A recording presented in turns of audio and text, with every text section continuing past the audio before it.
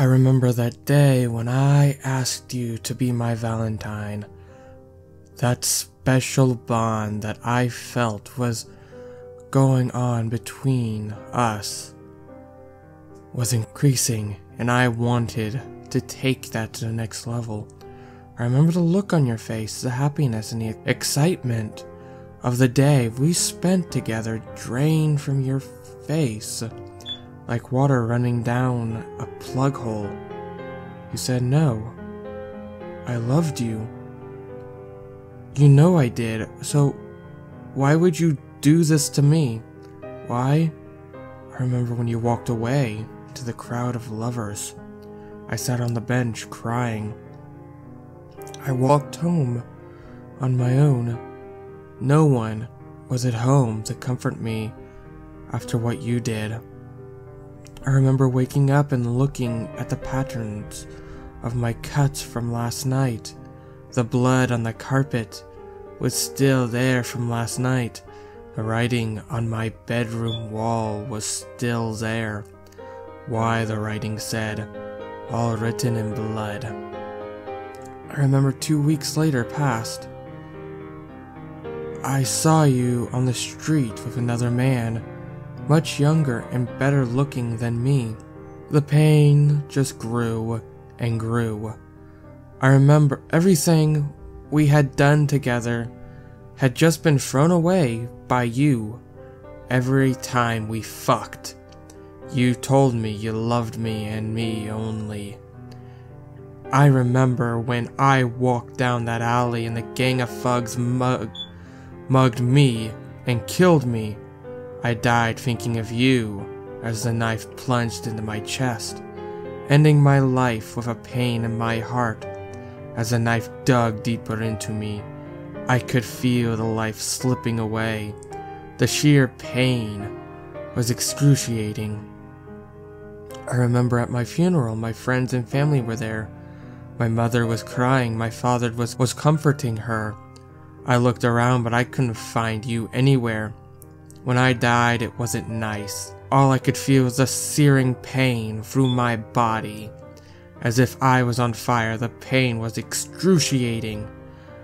And I only escaped because I did not, I didn't feel complete. I felt I needed something more and I knew what it was. It was revenge. I didn't know how I escaped, but it involved a lot of pain. When I got back to Earth, I felt like going straight home to say hey to everyone, and I survived. And I realized no one could see me, so I decided to kill the thugs that took my life. I could still move things, but I was invisible.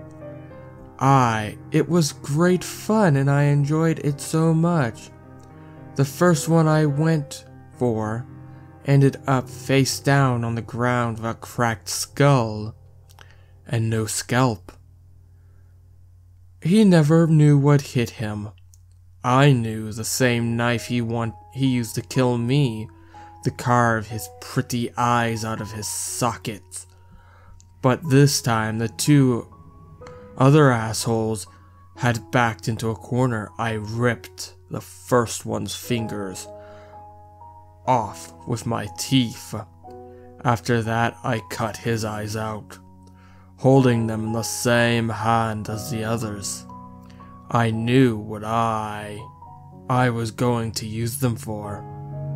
I was going to make a necklace for you. After a second, shuddering in pain on the floor in the third tier, I felt the rush and became even more violent. I cracked his jaw, and with the first uppercut, and dislodged his head from his body. And the second, and also the with the others, I cut his eyes out with the same knife, and kept the eyes and knife for later use. I knew where I had to go next. I was going to his house, the one who took you from me. I was going to be less forgiving to him. When I first saw him, I knew something was wrong. When I first saw him, he knew something was wrong.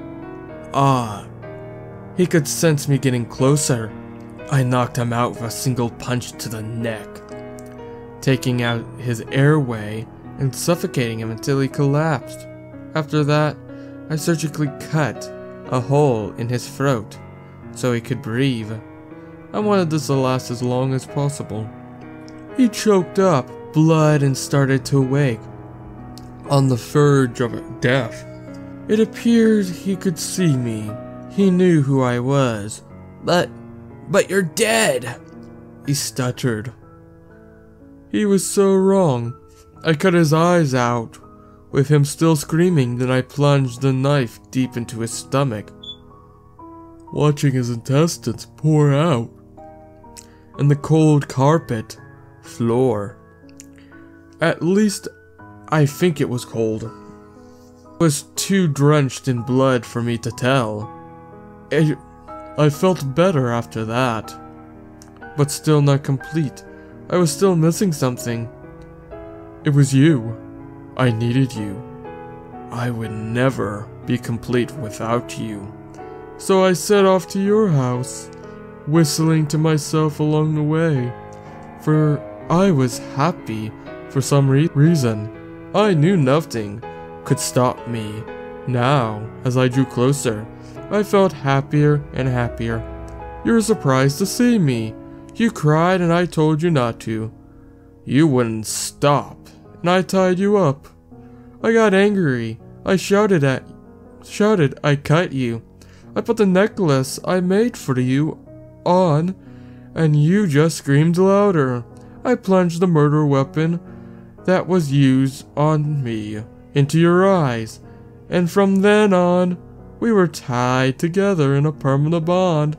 No one could separate us. I was happy now. I could finally rest.